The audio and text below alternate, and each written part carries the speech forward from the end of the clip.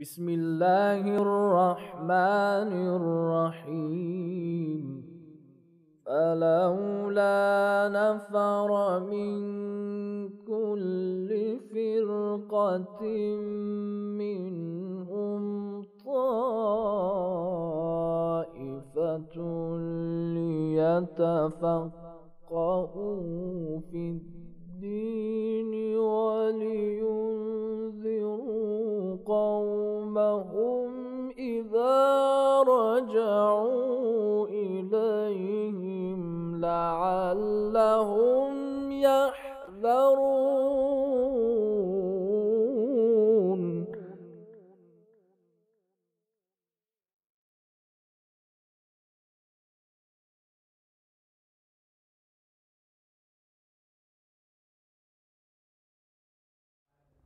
Euzu billahi mineşşeytanirracim. Bismillahirrahmanirrahim. Rabbi şrah li sadri ve yessir li emri ve hlul ukdeten min lisani yefkahu kavli. Hamdolsun alemlerin Rabbi olan Allah'a. O Allah birdir. Ondan başka ilah yoktur. Hepimiz ondanız ve hepimiz ona döneceğiz. Allah'ın salatı ve selamı, mahlukların en yüce, en şereflisi olan Hazreti Muhammed'e ve Hazreti Muhammed'in pak ehli beytinin üzerine olsun. Ve yine Allah'ın salatı ve selamı onların takipçilerinin üzerine olsun. Konumuz fıkıh hükümlerinden kefare konusuydu. Bugün kefare konusunda birkaç hüküm beyan edeceğiz. Kefareyi verirken öncelikle şahıs bunu kurbet kastıyla ve kefare niyetiyle bunu vermesi gerekir. Yani ben bunu Allah'ın emrini yerine getirmek maksadıyla veriyorum niyeti şahısta olması gerekir. Biliyorsunuz kefarede dedik ki işte bazen dedik üç gün oruç tutması gerekir. Bazen dedik 10 gün oruç tutması gerekir. Bazen dedik 60 gün oruç tutmalıdır. Kefare oruçları muhakkak peş peşe tutulmalıdır. Eğer kefare orucu tutacaksan peş peşe tutmamız gerekir. Ancak 60 günlük kefarelerde ilk 31 günü peş peşe tutulmalı. Diğer geriye kalan günler ise artık peş peşe tutmasak dahi burada bir sakıncası yoktur. Ancak diğer kefarelerde yani 10 gün olsun, 3 gün olsun artık kaç günse muhakkak hepsinin peş peşe tutulması gerekir. Kefareyi kime vermeliyiz? O hani dedik ya işte 3 miskine yemek verim, 10 miskine yemek vermelidir. Bu miskin kimdir? Kefarede bahsettiğimiz miskin o fıtra zekatı dediğimiz şeyi verdiğimiz o fakir olan o şahısla aynıdır. Yani o şahıs kefare verebileceğimiz şahıslar. Ramazan bayramında fıtra o fıtra zekatımızı kaldırıp da verdiğimiz şahısa e, kefaremizi verebiliriz. Miskine yemek verirken iki çeşitte verebiliriz. Ya miskini çağırırız, evimize davet ederiz ve doyasıya ona yemek yediririz. Veyahut da yemeği kaldırır veririz miskine, git kendin ye deriz. Her ikisi de mümkündür. Ancak kefareye eğer alıp da o miskine vereceksek, o miskine en az bir mod dediğimiz 750 gram yemek vermeliyiz. Ama müstahap ihtiyat gereği de iki mod vermelidir. Yani bir buçuk kilo verilmesi gerekir. Kefare niyetiyle para vermek kifayet etmez. Yani bir fakire kefare vereceğiz. Diyoruz ki ya al şu 50 lirayı git karnını doyur. Bu şekilde olmaz. İlla da yemek vereceksen yemek, yiyecek vereceksen yiyecek, elbise vereceksen elbise vermelisin. Para versen yeterli değildir. Ancak o miskin ve o fakir tanıdığımız emin bir şahıssa şu parayı al ve bununla yemek ye diyerek onu emanet olarak o parayı o şahsa verirsek ve onun da gidip başka bir şey yapmayacağını biliyorsak burada bir sorun yoktur. Yani ona verilebilir. Elhamdülillah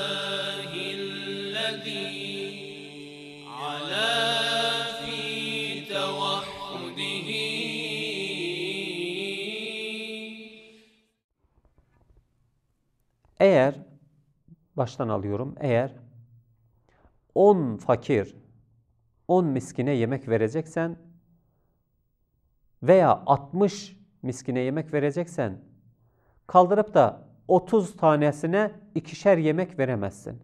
Veya 10 şahsa yemek vereceksin. 5 kişi gelmiş. Her birine ikişer yemek veremezsin.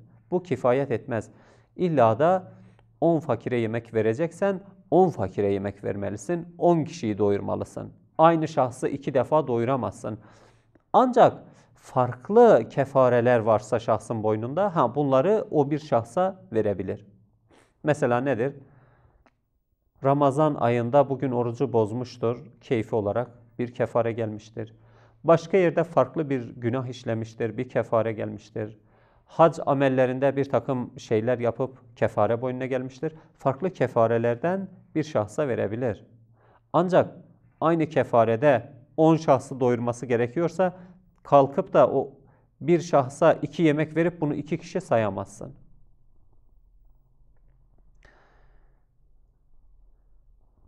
Ee, ikinci bir konu olarak kefare verilen şahıslar eğer mesela örneğin yemek verilecek 60 fakiri doyurması lazım.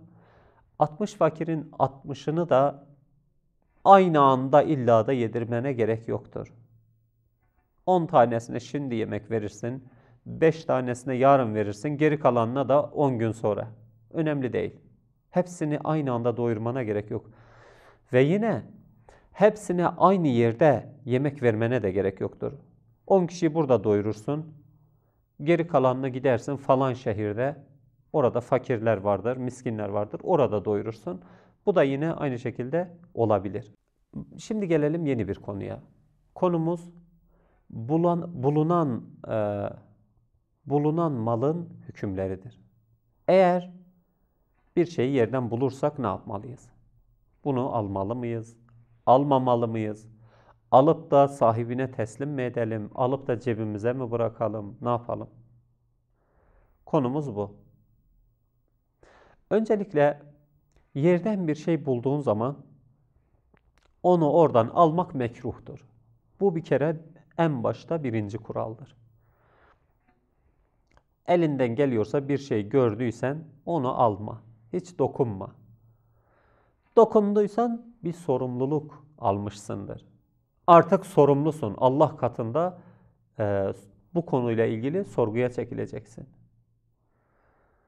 Birinci olarak bu aldığın şey eğer sahibi belliyse zaten ne yapacağın bellidir. Söylemeye gerek var mı? Tabii ki de götürüp sahibine iade edeceksin. Yok eğer sahibi belli değilse, burada iki hüküm vardır. Sahibi belli olmayan bir şeyi bulduk. Onun eğer bir nişanesi, bir elameti varsa ki hükmünü anlatacağız. Ne yapmamız gerekiyor? Ama bunun herhangi bir elameti, herhangi bir nişanesi yok. Sahibini bulmamız mümkün değil. Çünkü bunda hiçbir işaret yok. E, bu durumda vacip ihtiyat gereği sahibinden taraf sadaka olarak verilmesi gerekir. Eğer herhangi bir nişanesi yoksa. Eğer bir nişanesi varsa burada öncelikle bunu ilan etmek gerekir. Sonra bu ilandan sonra ilan ettik. İşte böyle bir şey biz bulduk. Bunun sahibi neredeyse işte bu mal bizdedir. Elbette bir takım o nişanelerden söylemeyip bekleriz. Çünkü bazen olur beş kişi gelir hepsi der ki o benimdir. Öyle bir tarz söylenmeli ki şahıs geldiğinde anlat onun özelliklerini de anlatabilmeli. Örnek veriyorum. Bir miktar para bulunmuştur. Kay, para kaybedenler bize müracaat etsinler. Şahıs geliyor. Ben kaybettim. Ne kadar kaybettin? Ha işte sen burada miktarı söylemeyeceksin. O şahıs diyecek ki 5 lira. Diyeceğiz ki hayır bizim bulduğumuz para senin paran değil. Bunun gibi. Eğer dedik ki nişaneleri söylendi. Nişanelerini söyledik. Bir şahıs geldi bunu anlattı. Dedi ki evet bu benimdir. işte şu kadardır bu şekildedir. Sahibi bulundu. Kaldırıp sahibine vermemiz gerekir. Sahibi bulunmazsa şahıs bunu saklayabilir. Tabi ilan ettikten sonraki biz ilanı anlatacağız. İlanın belli bir e, mesafesi, zamanı, süresi ve o süreler arasında ilanın tekrarları vardır. Bunları anlatacağız. O ilanlardan sonra yine de sahibi bulunmazsa şahıs iki şey yapabilir. Ya beklemeye devam eder, bir gün sahibi çıkıp gelir diye veyahut da onu kendisi ne kadar ettiğini fiyatına o zaman fiyatını ölçer, onu da onu kullanır ve bir gün sahibi gelirse kaldırıp da sahibine geri verir. Bu değeri bir dirhemden fazla olan mallar hakkındaki hükümlerde anlattık. Değeri bir dirhemden az olan yerlerde ise ne yapmalıdır? Ya şahıs onu kendisi için alıp kullanır veyahut da bunu ilan eder ve sahibinin gelmesini bekler. İlan etmenin yöntemi nasıldır? İlan etmek öncelikle o bulduğumuz ilk hafta yani o bulunduğu ilk gün e, bir hafta boyunca bulduğu ilk günden itibaren bir hafta boyunca her gün onu o mühitte artık o kaybolduğu yerde orada kalabalık bir yerde her gün onu ilan etmelidir. İlk bir hafta. Ondan sonra ise haftada bir defa olmak üzere bir yıl boyunca bunu ilan etmesi gerekmektedir. Ve bu ilanın muhakkak toplulukta olması gerekir.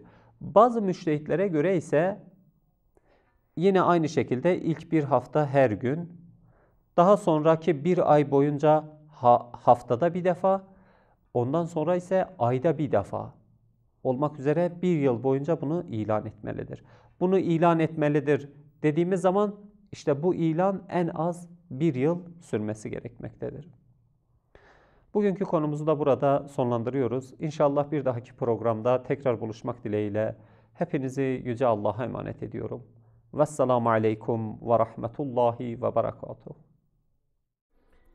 اللهم تفضل على علمائنا بالزهد والنصيحة وعلى المتعلمين بالجهد والرغبة وعلى المستمعين بالاتباع والموعظة وعلى مرضى المسلمين بالشفاء والراحة وعلى موتاهم بالرأفة والرحمة.